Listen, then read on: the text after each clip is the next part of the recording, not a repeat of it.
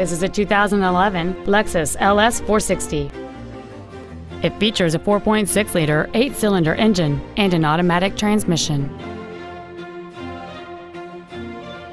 Its top features and packages include the Comfort Package, a rear view camera, keyless ignition, a low tire pressure indicator, aluminum wheels, and automatic collision notification.